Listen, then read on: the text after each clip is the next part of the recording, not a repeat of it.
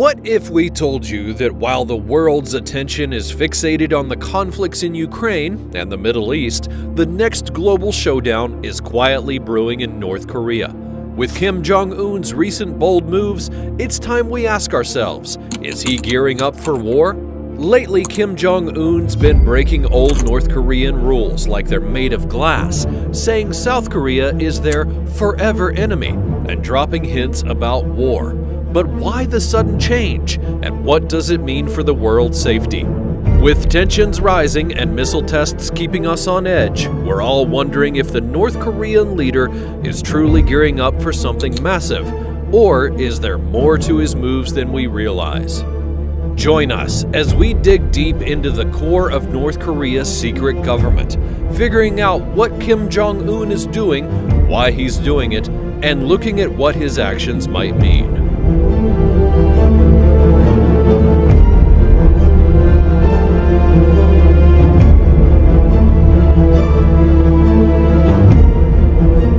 For many years, both North and South Korea have claimed to be part of the same family, aiming for a peaceful reunion. But since 1953, when the Korean War ceased with an armistice, the two sides have been separated, technically still at war. Now, Kim Jong un is changing the narrative.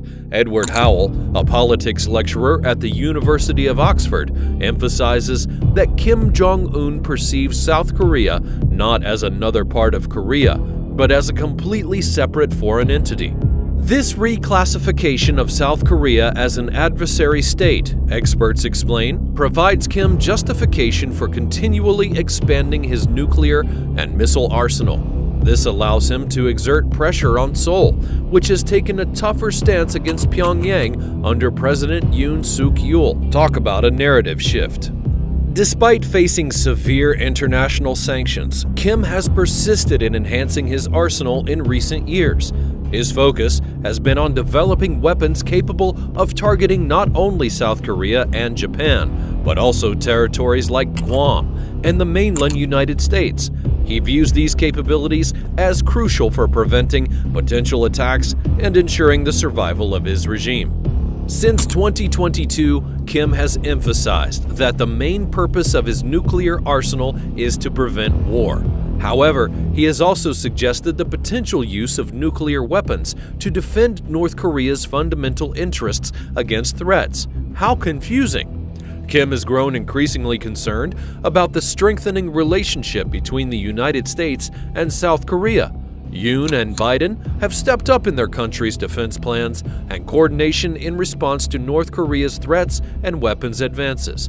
This includes expanding joint military exercises and security cooperation with Japan, which Kim perceives as a direct challenge to his government. According to Professor Won-gon Park from Ewha Women's University in Seoul, the progress made by South Korea and the United States in terms of strengthening prevention is a significant source of frustration for Kim Jong un. Kim has expressed his concerns openly. He recently remarked that the instability in the region is escalating due to the US led escalation of military tensions.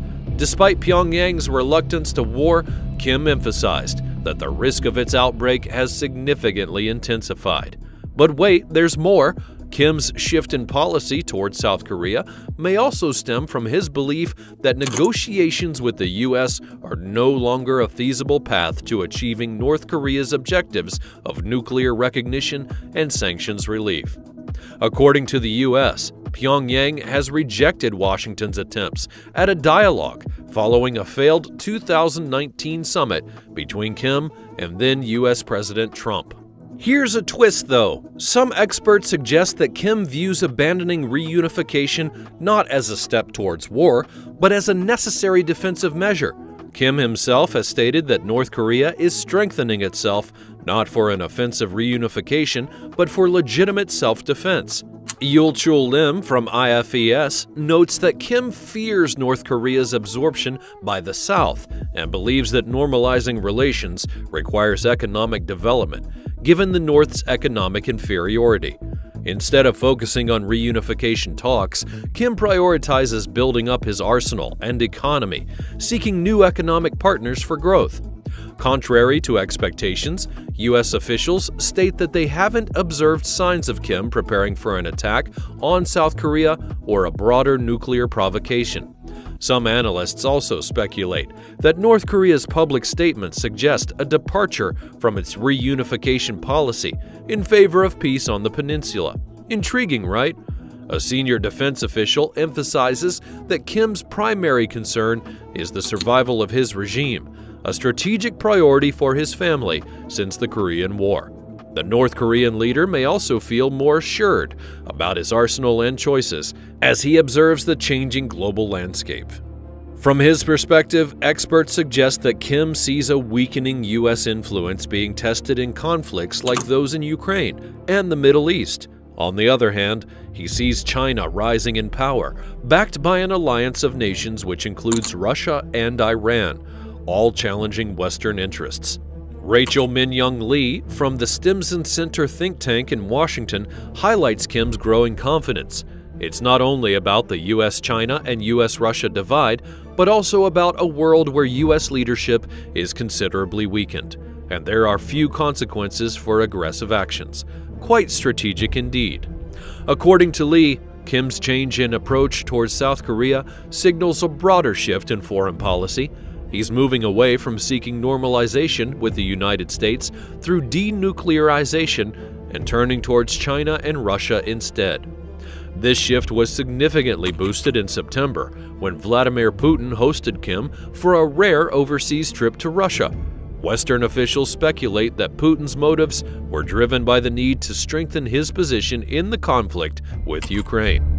Since then, Russia has reportedly used North Korean supplied short range ballistic missiles in the conflict, a move criticized by the White House as a concerning escalation of Pyongyang support.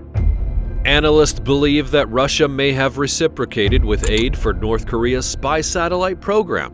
Increased cooperation with Moscow could potentially help Kim address North Korea's chronic food and fuel shortages and strengthen its economy. China, North Korea's primary economic supporter, remains cautious of any actions by Pyongyang that could destabilize the region or draw more U.S. forces. Despite tensions with Washington, Beijing has blocked U.S. backed efforts in the United Nations Security Council to condemn North Korea. Additionally, China intends to maintain engagement with Pyongyang, especially as it strengthens ties with Moscow. Experts caution that North Korea's escalation of tensions is expected to continue this year as Washington speeds up drills and cooperation with its regional partners to defeat Kim. The question of how to reduce these tensions is up for debate.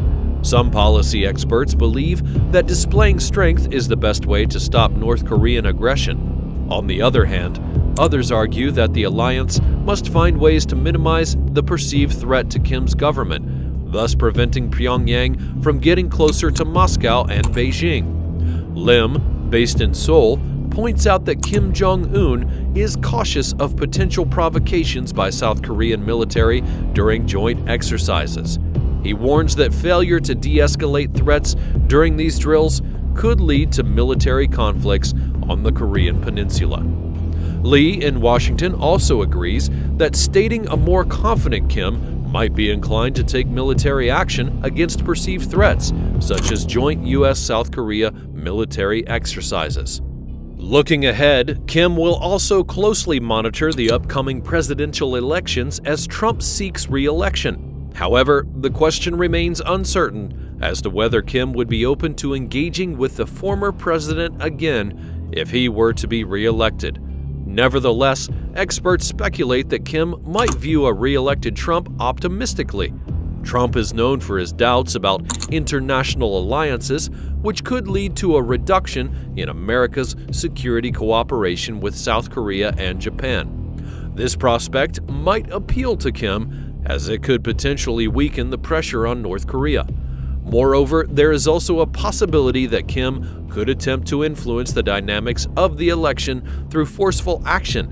One potential scenario could involve Pyongyang conducting its seventh nuclear test, marking the first such test since 2017, as suggested by Park from Ewha Women's University.